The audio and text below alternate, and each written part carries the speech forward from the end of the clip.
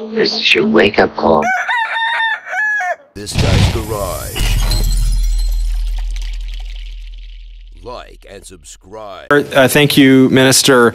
Um, you're uh, you're going to be using, I assume, information from CSIS when you make sanctions inadmissibility uh, determinations. Um, does CSIS intelligence contribute to decisions about who gets sanctioned under SEMA or is otherwise deemed inadmissible? I would say they are um, one of a number of agencies that contribute to the analysis, which is undertaken by Global Affairs uh, prior to listing under SEMA. Uh, thank, thank you for that answer. Uh, how often are you briefed directly by CSIS? I'm uh, routine, uh, briefly, uh, I beg your pardon, routinely, uh, certainly uh, at least once a week, and often uh, more frequently than that. Okay, so you, you receive direct briefings from CSIS once a week or more often? That's correct. Okay. Um, my understanding as well is that CSIS uh, often communicates through written products, through intelligence assessments. Do you read intelligence assessments as well, separately from those briefings?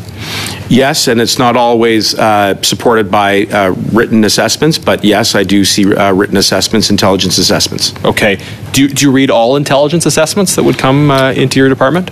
I uh, certainly get summaries of intelligence assessments, and then that is supplemented by verbal and um, um, other briefings from CSIS officials. Okay. So who is uh, who receives the full intelligence assessments and who's responsible for summarizing or or um, you deciding what information to bring to your attention or not bring to your attention? My deputy minister and chief of staff are um, the two uh, most principal advisors to me who help to uh, prioritize exactly uh, what it is that is put before me in terms of intelligence. Okay. Would your chief of staff and your deputy minister read all intelligence assessments then? I, I'm, I'm fairly confident that yes, between the two of them, as well as uh, the staff that are in their offices, uh, are able to get access to those reports and then help to prioritize what gets put before me. Yeah, just to put a fine point on to make sure I'm understanding right, because I'm sure they're able to get access to them. Um, but if if an intelligence assessment is sent to your department, um, can you say that, that yes, the deputy minister and the chief of staff reads them, or one of them reads them, or or they or, or would they be reading a summary that somebody else prepared for them? I, I think often it's both. So, in other words, they will get both the complete report as well as a summary. And sometimes they, from the reading of the report, will prepare summaries which then directly come to me. Okay, but your, your expectation is that is that both of them would receive and read the intelligence reports, And that they are delivered, yes, that's correct. Okay, have you given CSIS direction in terms of what issues they should or should not brief you on? Another, you know, anytime X, Y, or Z comes up, I want to know about it directly, or have you given that kind of direction to CSIS? Yes. Okay. Um, so uh, we, will uh, will those making recommendations about sanctions or inadmissibility will they always receive those intelligence assessments? Like, is that one of the things that because as, as minister you, you will make those determinations around sanctions will you directly review intelligence assessments related to those sanctions Can you just clarify your question, Mr. Genuis? What information are you asking about to support which decision? D- decisions around uh, around sanctions because this is the, related to the bill. Uh, if somebody brings, uh, if, if you're making a determination about a sanction, uh, would you read? Would you ask CSIS to provide you with the intelligence assessment directly, or would you rely on summaries in that case? I, I may rely on summaries, and if I've got additional questions about um, the source information which went, in, went into the summary, including uh, the original intelligence report, uh, I will certainly ask questions, yes. Okay, uh, thank you. Uh, one, one primary area in which we, we've seen motivation for sanctions uh, is sanctions against individuals or entities that are involved in foreign interference activities uh, here in Canada. So, in relation to that, I want to ask you if in 2021 there was information in an intelligence assessment about Canadian MPs being targeted uh, by the PRC. Was that information in, the, in any intelligence assessments in 2021? Well, as you know, I very much appreciate your question. Uh, I have to be guided by the law under the Security of Information Act in terms of what I can and cannot disclose. Uh, there are strict constraints on that, uh, but we have created forums in which we can uh, declassify that information or allow parliamentarians and or officials to have access to that information so that it can be discussed with Canadians. And I would cite uh, public reports uh, that have come from NSICOP and NSIRA in which we are able to navigate those those types of questions. Okay. Um, if if an intelligence assessment contained information, uh, you've said it would it would uh, you know, your expectation would be that it would be read by the chief of staff and the deputy minister. Point of order. Point of Um, order, Mr. Chair. Um, We're here on S8 today. Um, I'm just wanting to make sure that we're getting evidence that relates to S8 in terms of um, this committee so we can advance uh, our understanding and even propose uh, amendments around the legislation. I'm just trying to listen for, for how this actually pertains to S8 specifically. Uh, And I, I, I, I would ask the members, uh, through you, uh, to focus their questions on uh, S8. Thank Uh, Mr. Sperry, I'd like to remind every member that uh, we should try uh, to uh, focus our questions on uh, the issue at hand, which is uh, S8. Uh, Mr. Genuis, uh, we did stop the clock. Uh, You still have uh, a minute and 12 seconds remaining. Uh, Thank thank you, Chair. Um, If information in relation to uh, individuals involved in foreign interference, uh, potentially who should be sanctioned as a result of that foreign interference, if that had been an intelligence assessment in 2021, your expectation is that the chief of staff, as well as the deputy minister, would have seen it, and that you would have been provided with a summary of that information. Is that correct? Well, uh, let me just clarify. Because I, I think you're referring to um, um, the recent events involving your colleague, Mr. Chong. You heard the Prime Minister indicate that there is a new directive that has been issued to CSIS to ensure that if there are allegations or reports around foreign interference that involve parliamentarians, that that come directly to the attention of the Prime Minister as well as myself. And I assure you and all of the colleagues here uh, that we will uh, adhere to that directive. But prior directive, uh, you still think the deputy minister and the chief of staff would have seen that information, correct? Well, I I think, look, it's a very important question that you're asking. I think it's also important to remind members of this committee uh, that that CSIS and other intelligence agencies make determinations and judgment calls on what intelligence is actionable. and It's a question that we've done- deserves an answer, though. Would the chief of staff or the deputy have seen it? Okay, thank you, Chair. Thank you, uh, Mr. Genuis. Thank you, Chair. Uh, Minister, you had strong words for CSIS on the weekend. I want to ask, do you have confidence in CSIS, and do you blame CSIS for the fact that Mr. Chong was not informed about a threat against his family Uh, two Point of order, ago? Mr. Chair, uh, on relevance, uh, given our uh, stated agenda for this meeting being the consideration of Bill S8, uh, and I would just like you to, uh, to consider that. Thank you. Chair, can I respond to the point of order? Yes? uh, Yeah, Mr. Chair, uh, Chair, uh, I think the minister's confidence or lack thereof in CSIS is uh, critically important uh, for, gi- given that uh, part of S8 is, is responding to assessments that are made by our security agencies.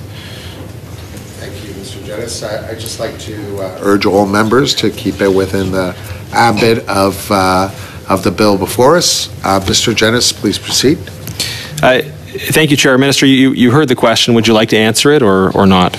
No, I'm, I'm, I'm quite content to answer it, and I Thank appreciate, um, you know, again, why you're asking these questions, uh, despite the fact that we're here principally to talk about uh, Bill S8. But of course, I've got confidence in CSIS. I mean, these are individuals who work to protect our national security every day, and I also point would point out that you know, your question used language like uh, blaming. Uh, the only people that I think that we need to be uh, united in, in holding accountable are the hostile actors who are attempting to undermine Yeah. our uh, democratic institutions, Mr. Genuis. Th- Thanks, Mr. I could just jump in there. I, I, I think there's probably agreement that something went wrong two years ago, though.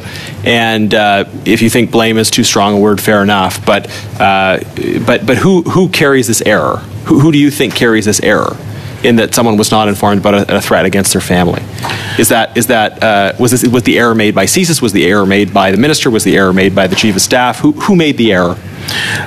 I think we have to be constantly vigilant to make sure that our uh, internal governance, including uh, directives around what gets briefed directly in person to ministers who are responsible, including and, uh, and up to the Prime Minister, uh, reflect the state of the landscape when it comes to foreign interference. And Mr. Genuis, uh, you put a lot of time into studying this subject matter. I think you would acknowledge that that threat landscape has evolved significantly in the last few years alone, and it's probably uh, evolving uh, just just about every day. So Okay. making sure that our directives align to those realities is important to ensure accountability. Thank, uh, thank you, Minister. I, I'm, I'm going to move on, although I don't know that I that I uh, fully got the response there. Uh, at the end of my last round, I, I had asked you specifically if if your chief of staff or deputy uh, would have seen uh, the 2021 intelligence report uh, on on foreign interference. Um, could you could you clarify? Did did the minister or the chief of staff see that report? Well, again, only because uh, you put the question uh, directly and personally to me. I was not in this portfolio in July of 2021 uh, when the report was alleged uh, to have been, uh, has it has been reported in public.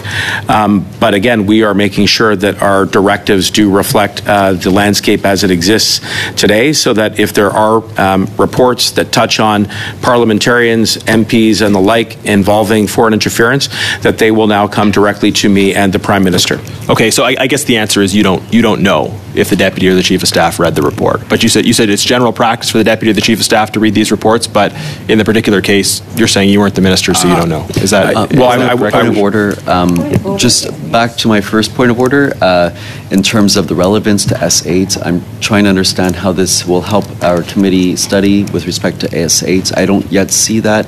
Um, I'm not sure, Mr. Chair, if, if um, the questions should be more focused around S8 or, uh, or like, are we just talking about what's in the news today? Mr. Mary again I just want to remind all the members to remain focused on uh, S8 and to uh, make their questions relevant to uh, the bill at hand. Mr. Jennings. Uh, Thank, uh, thank you, Chair. Uh, what, thank you. In, my final minute, just I, I want to pick up on something you, you said, Minister. Uh, so it's the it's the matter we're dealing with at hand, which is on the directive uh, that you have issued to bring foreign uh, interference targeting elected officials to your attention. Uh, does that apply to provincial and municipal elected officials as well, or just just parliamentarians? I, I would uh, certainly start by uh, prioritizing the um, uh, members of Parliament who, with whom we work with in the House of Commons, but I also want to assure you, uh, Mr. Genuis, that we're looking at other levels of government. In fact, CSIS has but provided specifically in terms of the directive, because I'm almost out of time. Does the directive cover uh, provincial and municipal elected officials? we will we will ensure that we are briefed directly on parliamentarians uh, and will make additional um, uh, refinements as as may be needed. Okay. But I also just I think this is important. Um, CSIS has briefed other levels of government at their request. Most recently, a number but, of but it's a question of what information is coming to you and the prime minister, um, because it seems to me that if if an if a, an everyday citizen is facing the threat of foreign interference, uh, that that should be treated with an extreme level Point- of seriousness. point of order. Okay. Yes, Mr. Thank you, uh, thank you, Chair. So, uh, in in that vein, uh, for uh, information used by the Immigration Department that will be involved in the determinations about inadmissibility. Um, I assume that when intelligence assessments are done by CSIS, they go to some point person in the Immigration Department. Is that correct?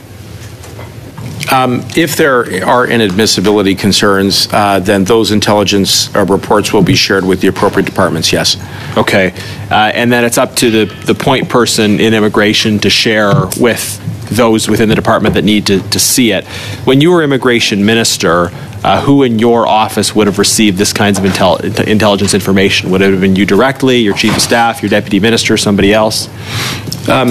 You know, as a matter of general procedure, Mr. Genuis, it would depend very much on the significance of the case. Obviously, there are many, many cases which are dealt with and addressed by our delegated authorities, so not all of them would come up directly to my attention. So it would depend very much on the individual particulars of each case. Okay, but someone must have been responsible for receiving the intelligence assessments and deciding who needed to see it and who didn't see it. So, at what level would that person have been? It'll depend on, again, the particulars of the case, but uh, this is where we get back to questions around internal governance. Uh, Ultimately, a minister will depend on their chief of staff and their deputy minister to help prioritize that information flow. Ok- Okay. So, in, in your current uh, role at, at Public Safety, aside from your chief of staff, which other positions held by political exempt staff in your office receive access to intelligence assessments? Point of order, I'm trying to again understand how this relates to S8 and um, the, the new legislation on, You'll see.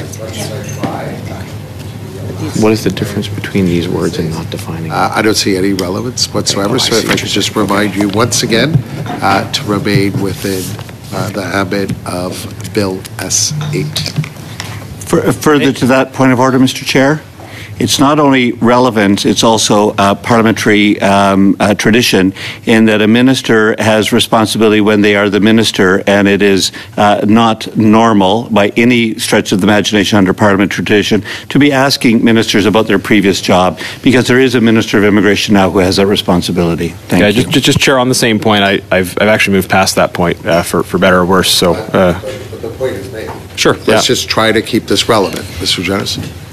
Uh, Thank you, Chair. I, um, I, I did ask a question, so out of respect for the minister, just is, is he interested in answering the question, given the Point of questions on the order, um, Mr. Chair. Yes, Mr. Zuberi. I thought you to- already sp- spoke about this question and this line of questioning. Yeah, and I'm- we're I'm trying to extend the courtesy to the ex- minister, if you I'm don't s- see- I believe um, not- we're still getting the exact same question being reformatted when you already expressed yourself as chair on the matter. Is he the chair?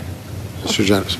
Thank, um, uh, thank you, Chair. I, I, uh, I appreciate that there may be some disagreements about the issue of, of relevance. The point I made at the beginning was that use of intelligence assessments is, is critical for sanctions, and, and the minister made that point himself. So I'm curious about who sees intelligence assessments because those are the inputs for decisions about, about sanctions. On that Um, point of order, uh, Mr. Chair, point of order. Can, can we? Uh, just- The reality is, as the minister has explained, the actual functioning of the sanctions, both on who is sanctioned and how they are delisted from sanctions, is not the responsibility of this minister, it's the responsibility of the Minister of Foreign Affairs. This activity is about stopping people who are sanctioned from getting into Canada, which has been a call from all That's the point opposition of debate. parties as well as the government parties to ensure that our sanctions regime is robust enough to make sure that people are inadmissible. Uh, Mr. Jennings, please do bear in mind that we're trying to remain focused on Bill S8. You have uh, a minute and 54 seconds remaining. Minister, I, I just, I, out of courtesy for you, having asked the question, I wonder if you're interested in answering it or, or, or not. Uh, if you, if you'd like to address it. Uh, you Uh, Point, of it. order, I don't know how many times you, as chair, need to repeat yourself for us to actually get it in our heads about this line of questioning. Can I- can I not offer the courtesy to the minister to respond to You know, it's already on public unbelievable, record? Unbelievable. Jennings, please, you've been warned several times. Mi- Mr. Chair, I, I, I- I think the, the question I'm asking is relevant. It's about intelligence assessments that can then be used for sanctions. This is the fourth So my- time. my This is- question- Mr. Zuberi, please. Point of order. Yeah. Sorry. Yeah. Um, Look, Minister, do, you- do you have, do you have any comment you want to make one way or the other on the foregoing discussion? Uh, Mr. Jennings, I've, I've been, I think, pretty uh, forthright in answering the question that you posed now a few times. Okay, I, I don't, I, I don't agree, uh, but uh, the public will judge, I suppose. Uh, is there anybody in your office that you can say 100% of the time reads the intelligence assessments that come through? Um, I, I believe you asked that question on a couple of occasions earlier in this hour, and you have my answers on that.